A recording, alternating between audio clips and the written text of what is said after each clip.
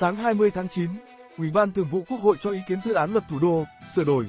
Bên cạnh vi phạm về phòng cháy chữa cháy, Điều 34 dự thảo quy định mức tiền phạt cao hơn không quá hai lần đối với lĩnh vực văn hóa, quảng cáo, đất đai, xây dựng và an toàn thực phẩm.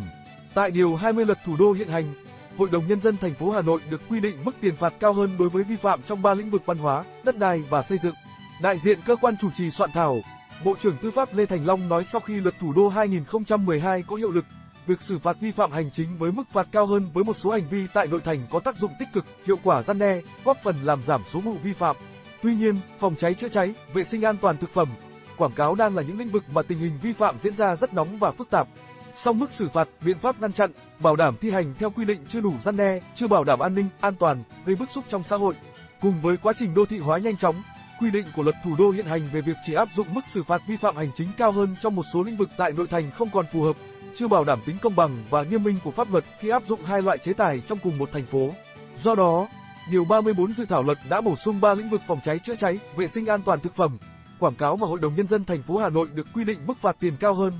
Trên cơ sở đề xuất của thành phố Hà Nội, ban soạn thảo bổ sung quy định cho phép áp dụng biện pháp ngăn chặn, bảo đảm xử lý vi phạm hành chính bằng việc ngừng cung cấp dịch vụ đối với công trình, cơ sở sản xuất, kinh doanh vi phạm trong các lĩnh vực đất đai, xây dựng và an toàn thực phẩm. Thẩm tra nội dung này, Chủ nhiệm Ủy ban pháp luật Hoàng Thanh Tùng cho biết có thành viên ủy ban cho rằng việc để Hội đồng nhân dân thành phố Hà Nội quy định mức tiền phạt cao hơn trên toàn địa bàn, ngừng cung cấp dịch vụ điện, nước tại công trình, cơ sở sản xuất, kinh doanh vi phạm là chưa phù hợp với hiến pháp năm 2013 về các quyền cơ bản của công dân, trong đó có quyền bình đẳng trước pháp luật. Tổng thư ký Quốc hội Bùi Văn Cường đánh giá nguy cơ cháy nổ ở Hà Nội phức tạp, nhất là sau vụ cháy tòa nhà tại Khương Hạ làm 56 người chết. Thành phố tồn tại hơn 2.000 nhà riêng lẻ kiểu chung cư mini, một trong những nguyên nhân là định hướng xây dựng và phát triển thủ đô Hà Nội có phần khó kiểm soát, ngay cả khi luật thủ đô được ban hành cách đây 10 năm.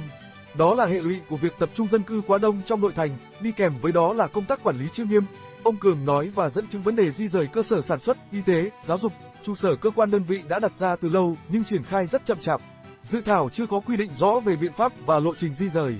Tại lần sửa đổi này, Bộ Tư pháp đề xuất nhiều nhóm chính sách lớn nhằm tháo gỡ những điểm nghẽn trong phát triển thủ đô.